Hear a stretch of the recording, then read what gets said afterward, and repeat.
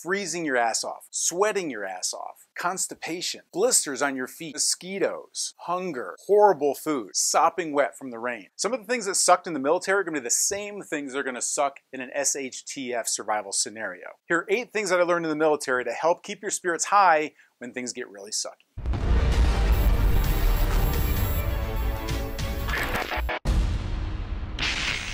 Hey, what's up, Warriors? It is Jeff from WarriorLife.com. And look, when I was in the military, there were lots of sucky times. Whether it's being in a combat zone or whether it's being on an unaccompanied tour with your family back home and you're some someplace overseas, or sometimes just being out in the field and just being really sucky weather and you're sopping wet and you're freezing your ass off. You had to find lots of little ways to be able to bring your spirits up. Little things that would help you maintain just your composure and being able to make good operational decisions under the stress of the environment that you were in. Well, the same thing is going to be happening to you in any sort of an SHTF type survival scenario where you're going to be under more stress. You're going to have to make potentially even life saving decisions for you and your family. And so let me give you some of the little tips that we learned along the way just to be able to keep our spirits high.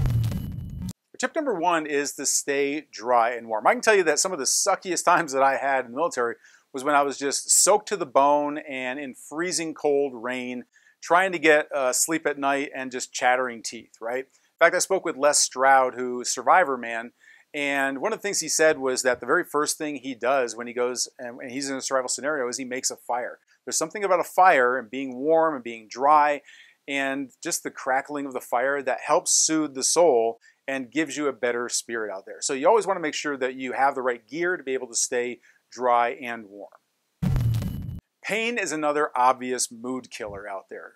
So one thing you want to do is make sure that you do have a good backpack, a good bug out bag, good clothing and shoes that are going to help you to maintain comfort while you're walking long distances or you have to travel with your gear somewhere. You also want to have things that are going to help take away the pain when you have that. So that could be pain medication like Motrin or it could be things for your feet as well, such as uh, moleskin or other blister type first aid care that you can use if you do start getting blisters and have bad feet. Tip number three is to stay hydrated. Research has linked dehydration to both anxiety and depression. they also found that no matter how much water intake you're normally used to having, increasing your water intake actually makes you happier. Now, in a survival situation, that can be kind of a tough task, right? So you want to make sure that you do have a water filtration system that's going to allow you to take found water out there and be able to make it drinkable. Now, especially if you have family members, young family members that don't like to drink water, also having something that you can add to the water to make it taste better, whether that's Kool-Aid or I like Pedialyte or these liquid IV packets that give a taste to the water. They're, they're kind of like Kool-Aid packets, but they have electrolytes in them as well. So that's going to help bring your mood up also. I can tell you from living off of MREs for an extended period of time that crappy food just makes you feel crappy.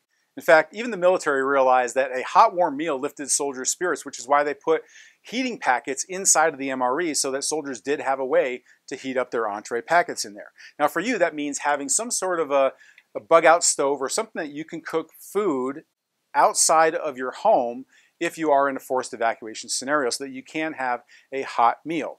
But also, survival foods come quite a ways. It's a lot tastier these days and a lot more nutritious as well, be able to give you those things that your brain's going to need to be able to maintain operational readiness, if you will. Now, for the food that still does suck out there, that was one of the reasons why the military also started putting Tabasco inside of the MREs to make crappy food just taste a little bit better. Let's just let's just kill those taste buds and just numb them out and so that the food will taste better, right? Or for the fifth tip, anytime that there was downtime, you could always find guys in the back of the track or in the tent playing card games. Now, ever since we were young, we associate playing games with being happy and feeling good. And the same thing is going to go for a survival scenario. So, especially if you have children and having games available for them, that's going to keep their mind off of the situation that you're all in. For you, I recommend that you have a set of playing cards in your bug out bag because there are so many different games you can get out of just one single deck of cards. Now, one thing you can do here as double duty is that you can have survival playing cards. There's a bunch of them out there that have little tips on them. Most of them are just kind of vanilla. Personally, I like the urban survival playing cards. They have lots of really kind of advanced tips on there. They're really good tips on there. So it also gives you a reference for different survival strategies that you can use as well. I'm sure those of you who have never even been in the military before have seen images of soldiers who are running for physical training in tight formation singing cadence songs. Now that cadence is there to help keep us all in step so that we're not tripping all over one another, but it's also there to help us keep our minds off of our aching feet and our legs and our lungs that are ready to explode. So for you, we know that music does help lift our spirits up. So I recommend that you do have, for your smartphone or an MP3 player, you have downloaded some um, uplifting music that you can carry with you. Now, in a survival situation, you might not have electricity. So I also recommend that you do have some sort of a solar charger that's portable that is going to help you continuously charge up your MP3 player or your smartphone so that you can continue to listen to that music. Now, there's no discounting the power of religious faith during hard times to help keep your spirits up if you are a person of faith. So I do recommend that you do have a religious text for whatever you follow, whether that's the Bible or some other religious text, that you can turn to during times when things get really hard. Now, one thing I do recommend here, though, is that you download it as an audiobook and put it on an MP3 player or onto your smartphone. That's going to allow you to be able to read that book even if you don't have light available to you, so you can actually just listen to it.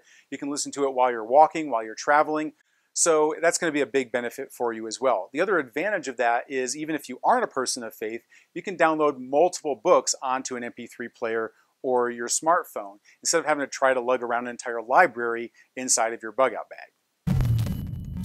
And finally, one of the most critical factors when it comes to keeping your spirits high is getting good quality sleep. Now, there was a military study that was done at Walter Reed Hospital that found that soldiers that operated with five hours or less sleep for 20 days were functioning at only 29% of their normal operational capacity. Now, in 10th Mountain Division, we did a study also where we went five days with zero hours sleep, literally 24 hours a day, small missions for five days with no sleep. And what we found was a strong degradation of operational readiness of the soldiers that took part in the study. Soldiers that were just ready to quit at a moment's notice, but we also noticed bad decision making skills when it came to the missions themselves. So for you, you need to keep your wits about. You need to make good decisions, potentially life-saving decisions in an SHTF scenario. So you want to make sure that you have good environment to get good sleep, you're dry, you're warm, you've got good shelter. Also that you don't have to remain hyper vigilant. So you have other members of your team that can stand watch when it comes to looking out for critters or other threats that might be out there, right? But one of the biggest threats you have are literally just mosquitoes. It's one of the reasons why the military issued us a mosquito net for our gear because they knew that we would just spend all night long swatting mosquitoes in high uh, density population areas where there were lots of mosquitoes there. So fortunately, you don't have to carry a gigantic mosquito net with you to get the benefit of keeping the mosquitoes away from you. In fact, one of our fellow warriors, Jacob from Louisiana, submitted a video tip to us at our website at warriorlifetips.com where you can go ahead and get his tip now for a way to go ultra light with keeping the mosquitoes away and getting a good night's sleep. So go check that out now. And until our next Warrior Life video, this is Jeff Anderson saying prepare, train, and survive.